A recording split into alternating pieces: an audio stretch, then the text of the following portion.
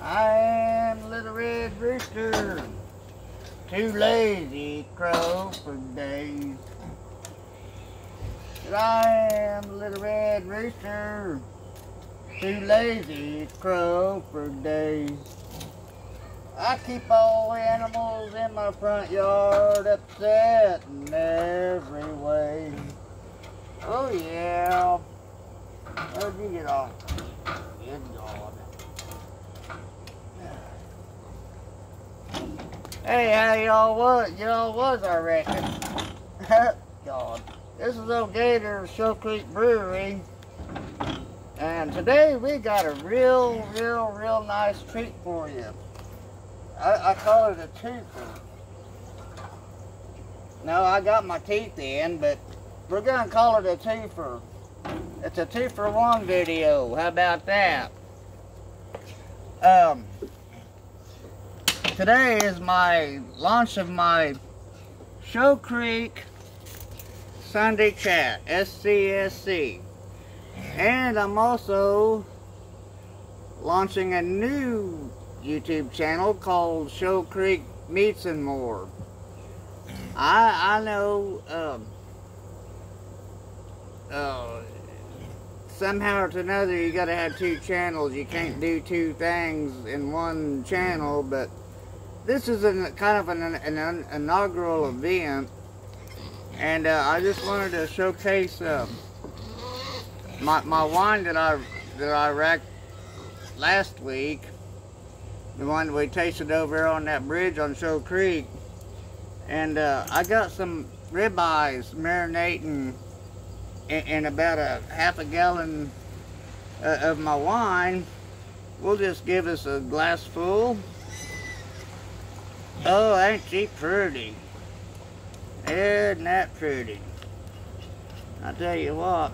But anyway, today on my um, Shoal Creek Sunday Chat, uh, we're going to talk about grains. Now, I know it's Sunday and I'm drinking wine, but shoot, uh, it, ain't no deal. Hell, Catholics, they drink wine on Sundays. Lutherans, hell, Lutherans, they drink wine every day, right? I'm sorry. I, I apologize for that. I ain't getting into all that. That's just my sense of humor. Um, but while I'm getting my grill ready and my steaks ready, uh, we'll talk a little bit about grains. Now you know a lot of a lot of new people coming into home brewing. They might not know what they're getting into, especially if they just start, you know, go balls out and start brewing all grains. Ain't nothing wrong with that, you know. You gotta start Summer's place, right? But even me, I, I learned something last week.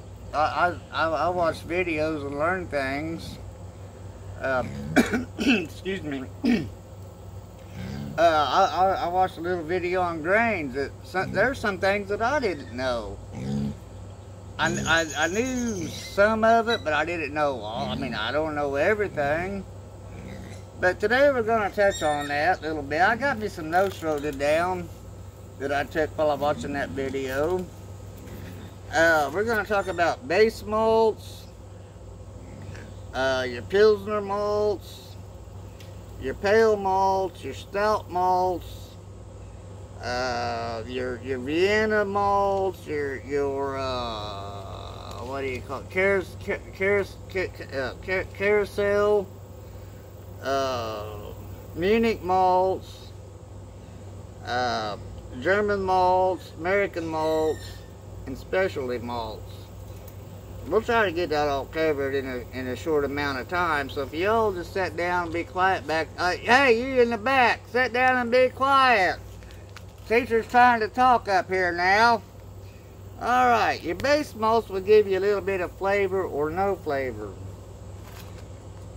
That is going to be your, what imparts, or what that's going to give you your, your fermentable sugars. As you as you're mashing them, it's going to release all the enzymes in, in the malts to uh, in the grains to uh, extract all the sugar, so you have fermentable sugar. Uh, you know, to get your alcohol. Well, uh, uh, with, with your base malts, you're gonna have to have a little bit of flavor and aroma, right? So you're gonna want to use some, um, oh, some uh, uh, malted barley. Uh, that's gonna give a lot of flavor. It's gonna give a full body flavor, and, and just a little bit of a, that barley aroma. Uh, th those two pair together really well. You know, I mean, your base malt be like a two row or a crystal malt.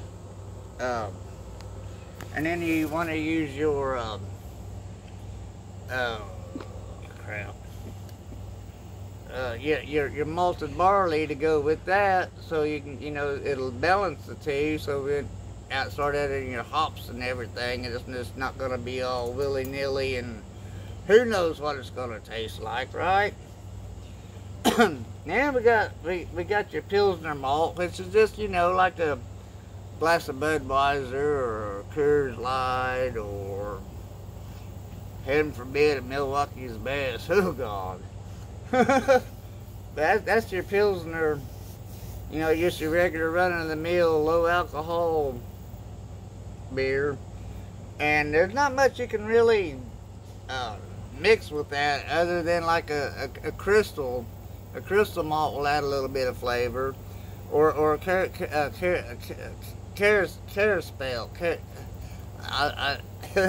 that word leaves me for some reason. I don't even ever wrote it down, but I remembered it. But, um, you know, that, that's for your basic pilsners.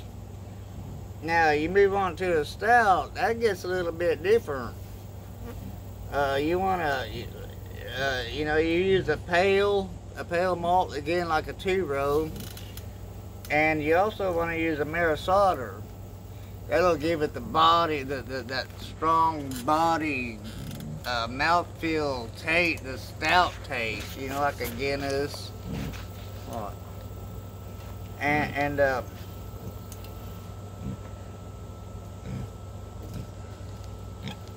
yeah, uh, that's about all you want to use on a stout is a is a maris otter and a uh,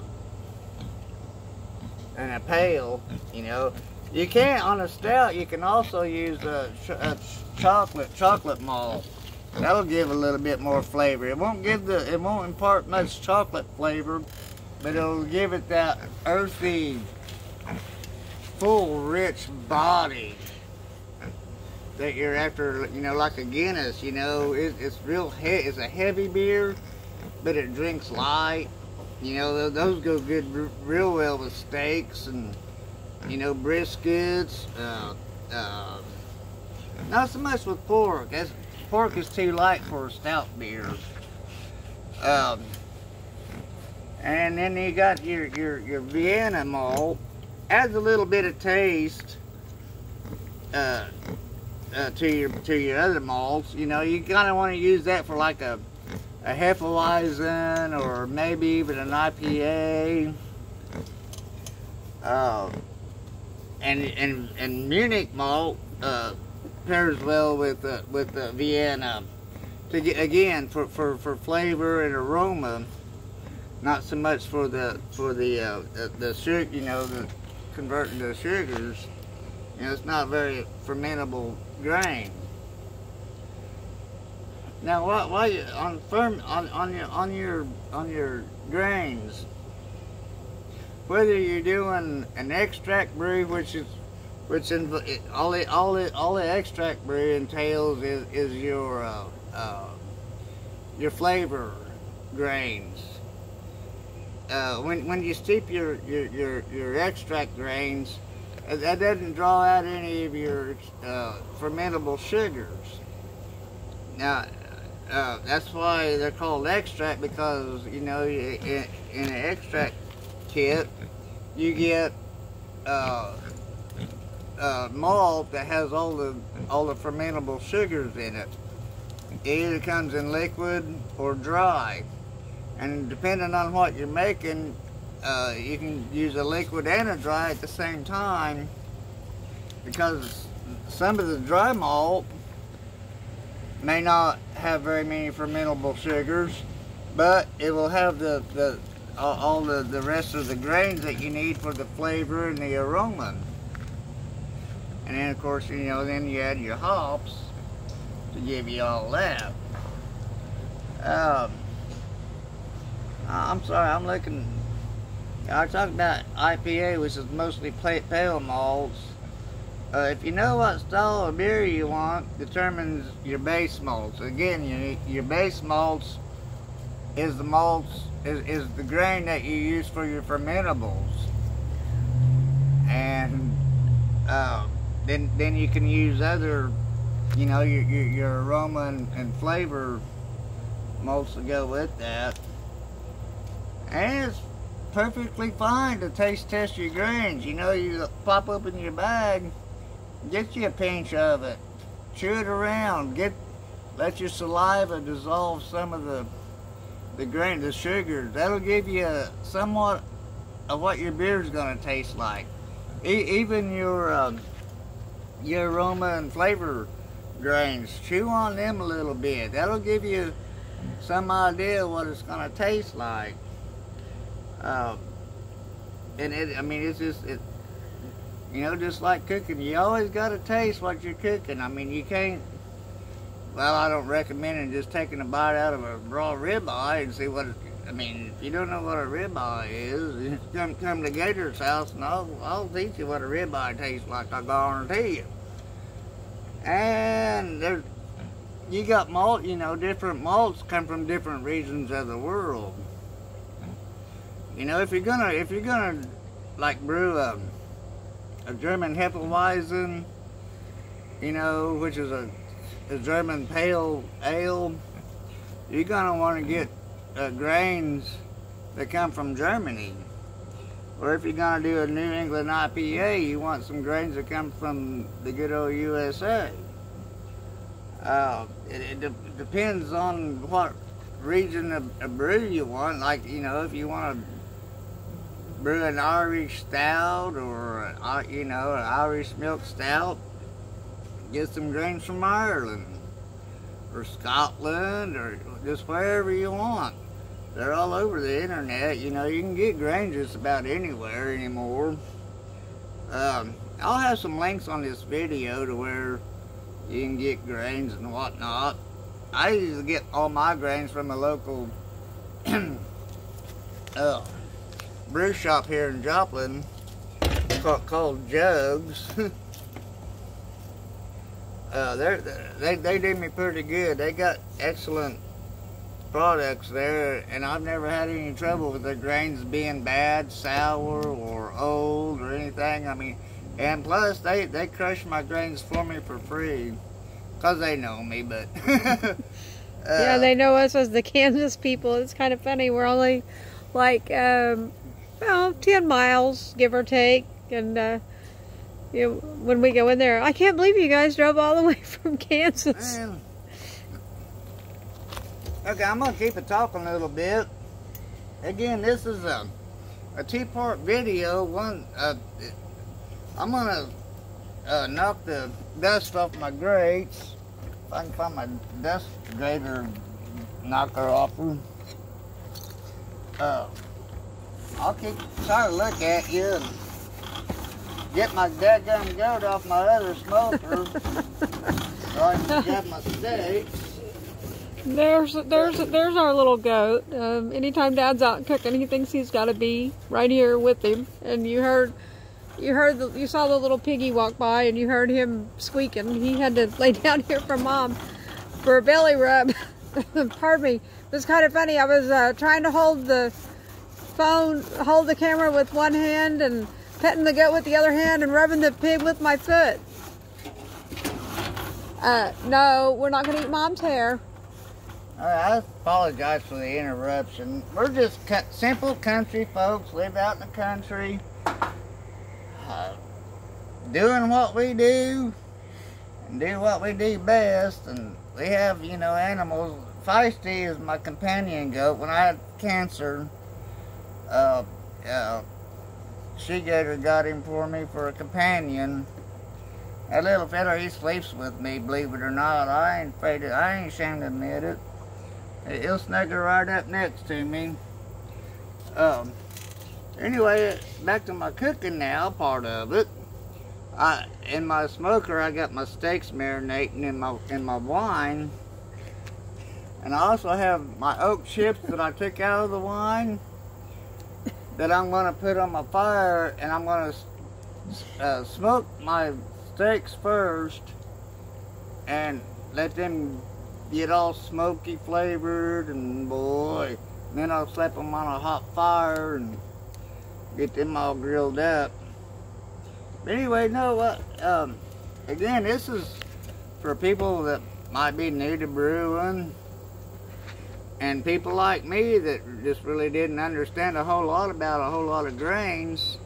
You know, I did some research and studied on it, watched videos, and I learned a lot. I, you know, I, I learned that not every grain is fermentable, but I kind of knew that. You know, you got, especially with your extract brewing, you know, you got called specialty grains. That's just for flavor, for flavor and aroma. You know, all your formidables, again, like I said, comes from your malt extract and your dry extract. Slow down, Hot Rod. um, that's, that's just about all I got on that, uh, really. Uh, there ain't too much to delve into. I mean, I could go on and on and on about the science and the and the chemistry, the break, but I ain't got a a whiteboard to make all those little chemistry diagrams, the the CH and the H2O and the O2 and the what it was sugar. I, uh, anyway, I, I, I can't make them diagrams anyway. You got to have a slide rule to figure all that stuff out anyway. But uh, now, uh, but I'm I, am again, like my video from Thursday, I get ahead of myself and I'm back up. But right now, I'm kind of right where I need to be. These two videos, or this video of two, uh, well, whatever, it's not a two-part, it's, it's two parts. um, kind of for new people, and it's for uh, people that's been doing it a while just for the entertainment value anyway. I hope I can offer some entertainment. but um, I'm looking around because I, I get this I, PTSD con anyway. Uh, I get lost summers times. I hate it. I do hate it with a passion. But no, this is my wine that, uh, that I am racked the other day that we tasted on that bridge it, it's cool now. Oh, it's I don't know. It's dark. It, it's pretty. It's cleared up a lot more, and um, it's gotten a lot, little bit sweeter. It, it actually tastes really, it's very palatable, and I'm gonna drink this with my steaks after a while. I'm gonna give the She Gator a taste. It's a lot better than it was Thursday. Hey, Mr. Jingles. That little Jingle buddy right there. He's my little buddy. We acquired him about three months ago. That's not bad. I taste the oak in it. Yeah, it's very and the good. I, I taste the smoky oak. Alrighty then. Anyway, this video here is, is my first. Have, yeah, this is my little. I, I apologize. No, he's a little ham, no pun intended. if I get my feisty goat off my, my, my smoker, I'll get my steaks and put on here and, and my wood chips. I'll show you my wood chips. They're a nice purple color.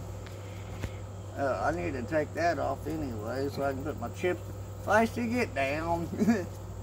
uh, anyway, like I was saying, this is for this is my first Shoal Creek Sunday chat.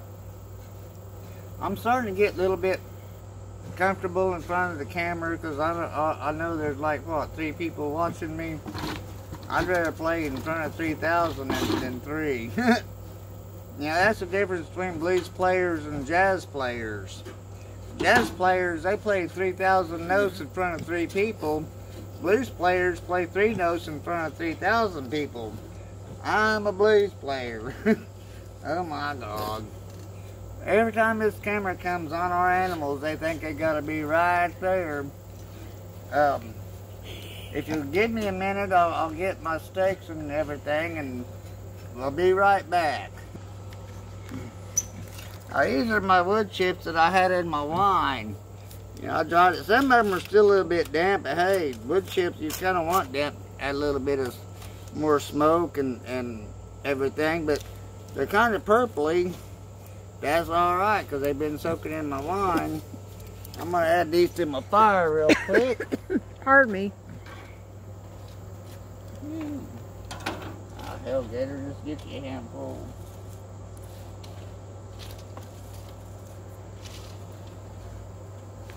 There, oh God, Marty. You ain't gonna believe this.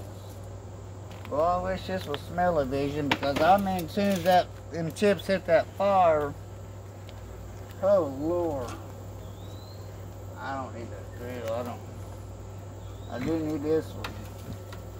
Now, Here, here's my steak. That's I've been. I, I got some spices in it too. Okay. Um, they've been marinating in my wine. We'll put that on there. Yeah, like that. And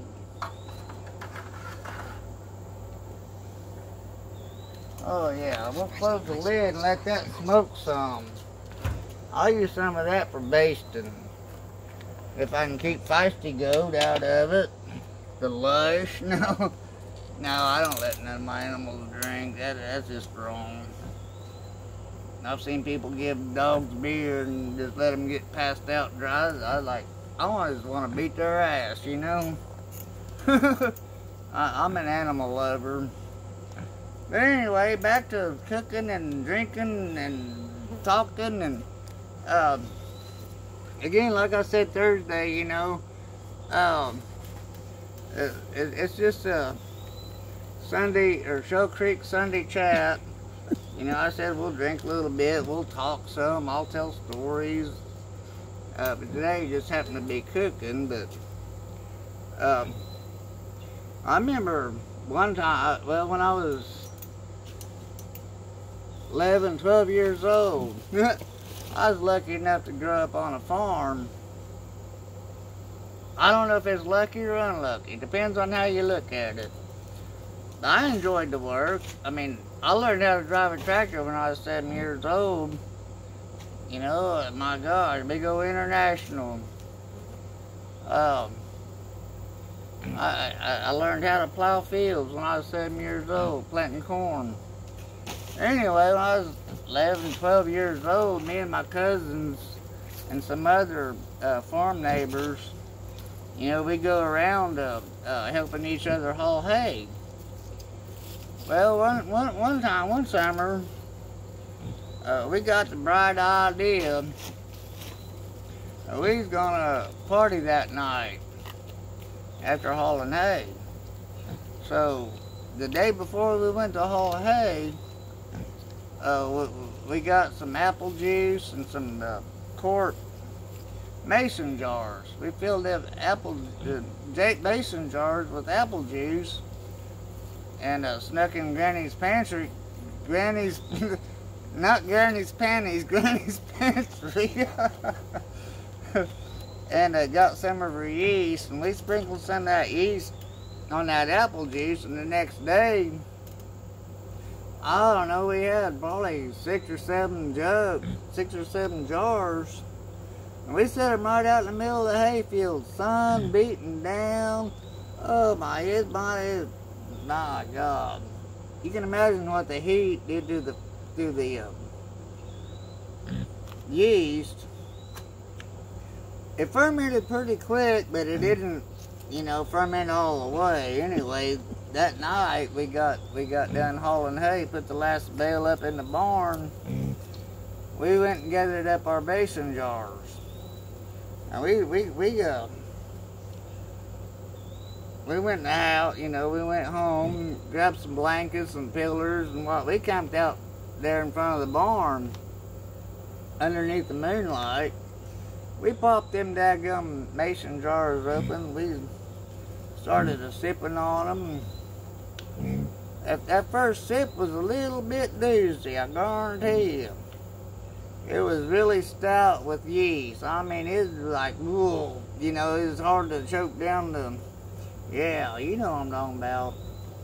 Yeah, sip after sip after sip, it started getting a little bit better.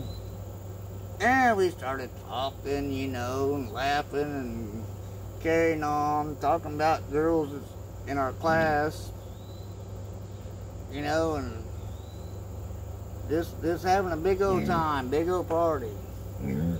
Well, as you can imagine, all that unfermented yeast went right straight to your belly. We woke, well, we didn't wake up. Granddad and Dad come and woke us up. They, you know, kind of nudged us with their toe over their boots. They just laughing and a giggling, and they knowed what happened. They knowed exactly what went on. And they were, oh boy, we woke up and it was like, oh God, where's the outhouse? I guarantee you. Well, we didn't really get in trouble, but they sure worked our butts off that day. You know, made us sweat it all out.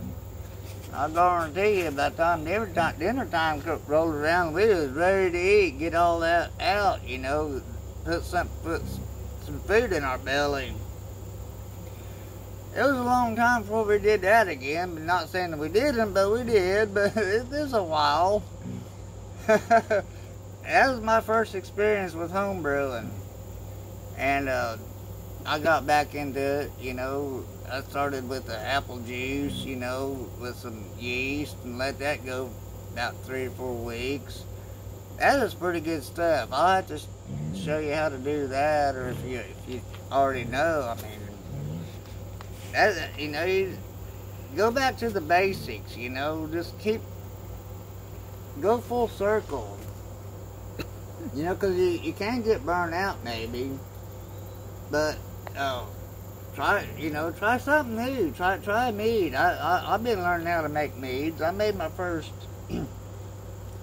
mead about a month ago. That, that jalapeno capsicum and it turned out wonderful. Oh, I I might do that again. Can you see my smoke? Yeah, that's, oh, that's, them, boy, it's smelling good too. Them wood chips are just kicking in. Oh my, I wish you could smell this. My gosh. Uh, I'll tell you what, I'm going to wrap it up for right now, and I hope to see you again next Sunday for our Shoal Creek Sunday chat. I'll leave out the cooking, but this is just my inaugural uh, cooking channel kickoff. Hell, I know. Hell, I just kicked off this brewing channel. So how am I going to keep up with two channels? We're fixing to find out. anyway, uh, I'm going to let it go for right now. I'll probably pick it up and show you what my steaks look like. Uh, tomorrow, Monday, the 16th, is tomorrow the 16th? 17th. Huh? 17th. 17th. See, I'm a day late and a dollar short already. My God. I'll, I'll probably, uh, I didn't have the time today. I was going to brew a beer today. I had too many honeydews. But I had more honey don'ts than I had honeydews. Honey, don't do that. Honey, don't do this. honey, do that. Oh, I'll tell you what. Between the honeydews and the honey don'ts, fella ain't got time to brew. anyway, I'll probably brew a beer tomorrow, and I'll show you the, the, uh, all of that. And uh, until next time, this is Old Gator from Shoal Creek Brewing. We'll catch you later. Bye.